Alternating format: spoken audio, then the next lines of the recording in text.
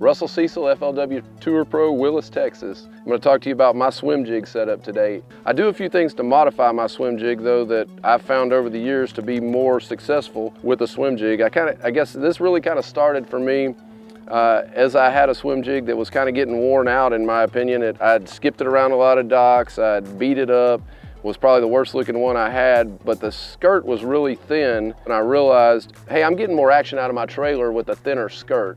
So with that experience, I started modifying my swim jigs. Now the 6th Sense swim jig has a pretty thin skirt, but I make it even thinner. So what I like to do is I flip it upside down and I take my scissors and I trim the back side of the skirt off of this jig. So I don't even use the skirt on the back side at all.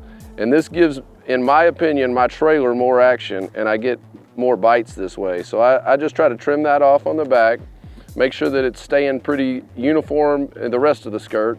And then the other thing I like is a, a swim bait. So what I do with this is I want a kind of flat surface where I put it on this swim jig. So I just trim a little piece of the head off where the surface is flat there. So it's gonna meet up with the back of that swim jig. I measure it, just kind of look at the hook shank here. Okay, I want it this far up here. I have an idea where I want the hook to exit. This 6th Sense swim jig has a keeper on it that's the kind of corkscrew style. So this is really nice. I like it because it allows you to skip this jig and not have to adjust your trailer very often. So I come down here where I kind of marked my hook exit, go up here, then you're gonna have to spin the trailer around the shank a few times and then get it married up against the back. This is my swim jig and this is how I like to fish it. This is how I modify it for what's become most successful for me.